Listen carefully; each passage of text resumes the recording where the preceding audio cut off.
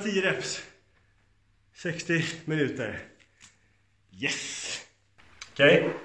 det var det. 410 repetitioner, strax över 60 minuter. Och det känns bra. Händerna börjar faktiskt gå sönder nu. Det tog sin stund men eh, nu är de här. Absolut, kroppen är sliten. Den är framförallt sliten mer under dagarna nu och det känns. Men passen så här, det är gå ner, fokusera, göra sin grej, gå hem. Det känns bra. Fortsatt optimistisk på det här. Skönt att höjningen funkar. Försöka hålla mig någonstans runt här 400 hela veckan. Kan vi öka mer? Då kanske gör det. Men jag ska inte gå för snabbt framåt så det blir längre återhämtning. Så den här veckans fokus är 400 reps kan vi säga. Minst 400 reps. Vill vi säga.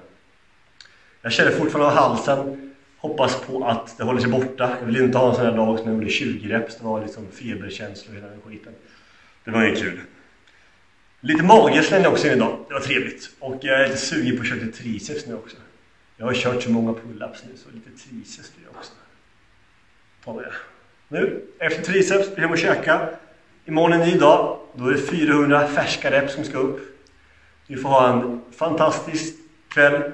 Så eh, hörs vi av helt enkelt.